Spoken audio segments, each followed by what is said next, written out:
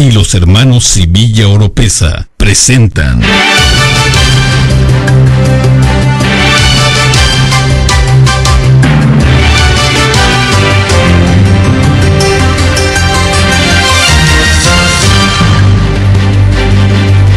Las 13 horas, un punto de la tarde. Esto es Noticias en Flash, edición 20385. Flash. Batería, esta es la información cerrada. Continúa la carretera federal Cárdenas-Coatzacoalcos, reportó la Policía Federal.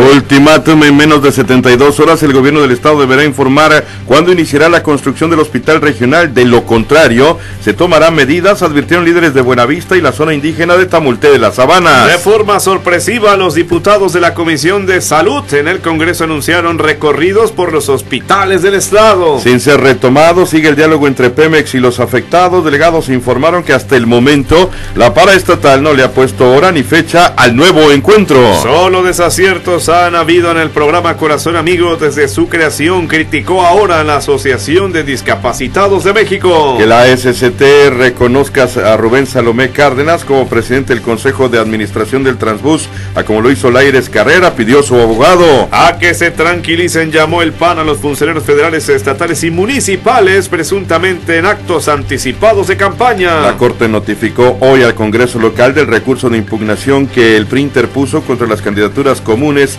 El legislativo tiene seis días para combatirlo. Ningún diputado del PRD apoyó la acción de inconstitucionalidad que el PRI presentó, afirmó la Oficialía Mayor del Legislativo Tabasqueño. Un acuerdo con Gerardo Gaudiano para quien en su momento esté mejor posicionado sea el candidato del PRD a la alcaldía de Centro, ventiló Juan Manuel Fósil. La Comisión de Energía de la Cámara de Diputados Federal incorporó un adendum al dictamen de las nuevas leyes de Pemex y CFE. En él establece el autogobierno de ambas empresas en materia presupuestal. Por tres años fue inhabilitado el funcionario que autorizó la fiesta en la rotonda de los hombres ilustres. En 2013 hubo casi 23 mil homicidios en México, reportó el INEGI. Al menos 51 muertos dejó un aterrizaje fallido en el aeropuerto de Taiwán. Israel podría estar cometiendo crímenes de guerra en Gaza, estimó la ONU.